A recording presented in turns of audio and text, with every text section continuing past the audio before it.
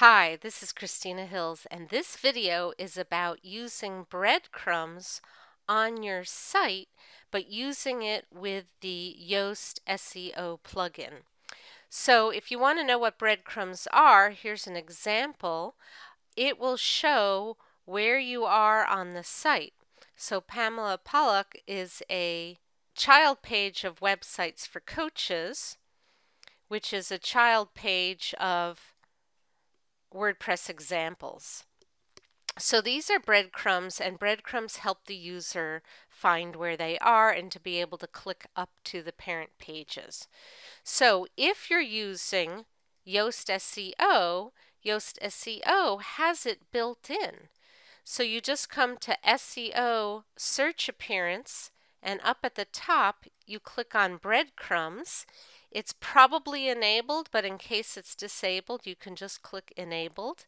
And then I like to bold the last page, meaning this is the page we're on. So I have that bolded. But out of the box, you really don't need to do anything.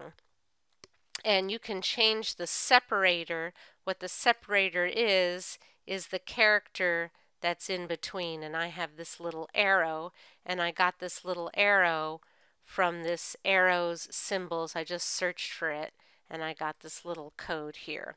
Um, so I'll include this link uh, under the video so that you can find what kind of separators you want or you can just use the default so there's a default in here if you don't want to worry about that and then you just need to hit save changes now here's the part that I found confusing and that's why I'm making this video I didn't know how to add it, so I did a Google search on how to insert Yoast SEO breadcrumbs, and I saw this warning. This guide is for advanced users, and here's this code, and I didn't want to add code to my theme. But later I discovered if you scroll down, there is a short code.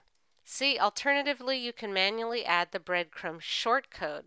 So I love shortcodes because it makes it super easy. So all you have to do is copy this shortcode and then edit the page and just add this shortcode in. So once you do that and you click on update, then you will have Yoast SEO breadcrumbs. So to recap, in order to get, and there's lots of other breadcrumbs uh, plugins, but if you're already using Yoast SEO for your SEO and you want to add this in, you can add the shortcode on the specific pages you want. So for example, if I go to website for coaches and I click on Ellen Wanamaker, I have not added that shortcode in yet. So shortcodes are great. You put them where you want them and then then you have them or not. So there's just a lot of flexibility when using uh, shortcodes. So I wanted to make this video to make it easy for you to add breadcrumbs on your site uh, wherever you want to put them with that shortcode with Yoast SEO. This is Christina Hills.